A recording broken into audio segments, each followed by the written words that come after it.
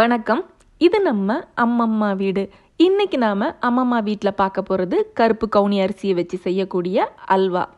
இந்த அல்வாவை இன்னைக்கு நான் செய்ய போகிறது கிடையாது. நாங்கள் சிதம்பரம் விலாஸ் ஹெரிட்டேஜ் ரிசார்ட் போயிருக்கும்போது அங்கே குக்கிங் ஆக்டிவிட்டியாக இந்த ரெசிபியை எங்களுக்கு செஞ்சு காமிச்சாங்க. அதை தான் நீங்கள் இன்னைக்கு பார்க்க போகிறீங்க அல்வா கவுனி அரிசி அல்வா.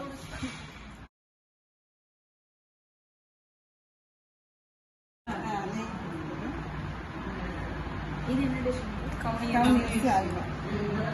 கவுனி அரிசி செஞ்சுட்டீங்க இதுல இருந்து அல்வா செய்வீங்க அல்வா செய்யணும் இது எனக்கு ஸ்வீட் இல்லை. சும்மா பிள்ளைலாம் வச்சுக்கிறேன் ஆ ஸ்வீட் போடல இதுல.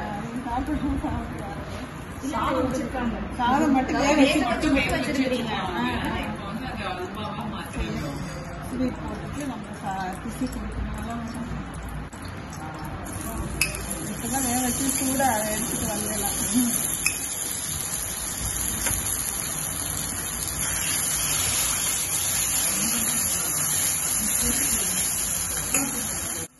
கருப்பு கவுனி அரிசியை அவங்க முந்தின நாள் நைட்டே ஊற வச்சிருந்தாங்க அப்புறம் ஊற வச்ச அந்த தண்ணியை வச்சே அதை நல்லா வேக வச்சு எடுத்துக்கிறாங்க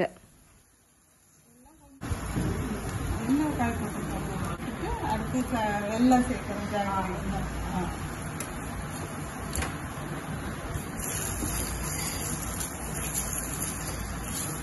சீனியும் சேர்க்கலாம் ஆனால் சீனி அவங்க அரிசியில் உடம்புங்கிறதுனால எப்படின்னு நான் வெல்லம் சேர்க்கணும் இது கருப்பட்டியை சேர்க்கலாம் ஆ. சரி நம்மளுக்கு என்ன ஆ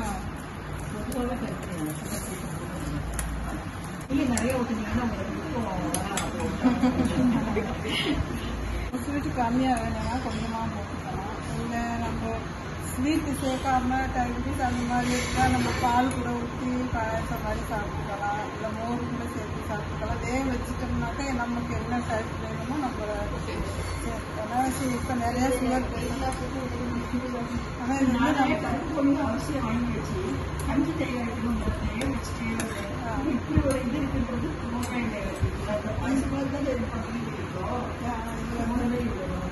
இது ரொம்ப தண்ணியா இருக்காது. ஸ்பூனால நம்ம சாப்பிடுற மாதிரி செய்யணும் சாப்பிட்ட உடனே தான் தெரியும். இது வந்து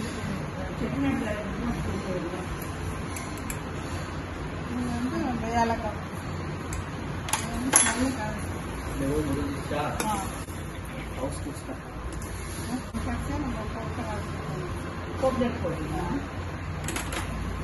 ஸ்வீட்டுங்கிறதுனால கொஞ்சம் சேர்க்கணும்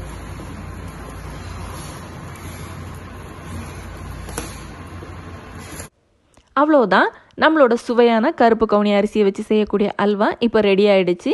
அவங்க அல்வா செஞ்சது மட்டும் இல்லாமல் அதை நம்மளுக்கு பரிமாறவும் செஞ்சாங்க. அல்வா செய்கிறதுக்கு முன்னாடி செட்டிநாடு சிக்கன் கிரேவி ஒன்று செஞ்சுருந்தாங்க. இந்த கிரேவியோட ரெசிப்பியை வரப்போகிற வீடியோக்களில் நான் உங்களுக்கு ஷேர் பண்ணுறேன் இப்போது எனக்கான பிளேட் வந்துடுச்சு. நான் இதை சாப்பிட போகிறேன் நீங்களும் இந்த ரெசிபியை மறக்காமல் உங்கள் வீட்டில் செஞ்சு பார்த்து மகிழுங்கள். நன்றி.